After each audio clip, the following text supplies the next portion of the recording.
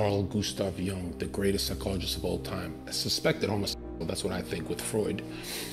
He has a whole, he has five black books and one red book. These are spellcaster books. The greatest psychologist of all time has a whole book. And it's on YouTube, the audiobook, you can even see it.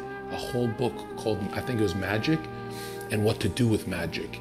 And basically, it's a rod that talks to him, talking about giving his um, integrity, peace of mind, and soul, his solar. If he gives his soul, right, he gets whatever magic is offering, but he doesn't know what magic is. He just knows it's tempting. He has a book where he sells his soul, not in a cryptic, oh, I think you're reaching, Zherka. No, no, it's like one hour straight of that same language. Like, this is something that no one would refuse. But Jordan Peterson, these people don't ever talk about this. They talk about his work, but they don't talk about this book. He has a whole book talking about himself selling his soul. And I found out you have to soft read his uh, hieroglyphic and symbols in a sleep state, in a, in a opposite of wakefulness, right? Drowsy state.